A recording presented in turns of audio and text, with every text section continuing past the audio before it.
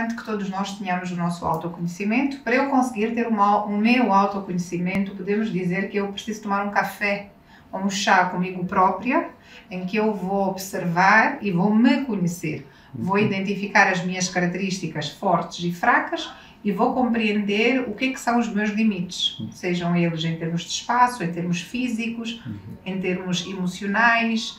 Vou e para a pessoa que está em casa perceber, talvez uh, um exemplo prático seria quando nós descrevemos alguém, nós temos a habilidade de dizer: ah, a pessoa é, é chata, é simpática, é isto, é aquilo, e depois, nós recebemos uh, uma outra pessoa que vem dizer: ah, o João uh, contou uma fofoca, nós vamos dizer: não, não, não, o João não. O João nunca iria fazer isso. Porquê? Porque nós temos certeza da integridade do João, porque nós conhecemos o João, né? Então é um pouco nós fazermos isto conosco, conhecermos tão bem a nós como nós conhecemos um melhor amigo, um irmão, um familiar, um colega de escola, né?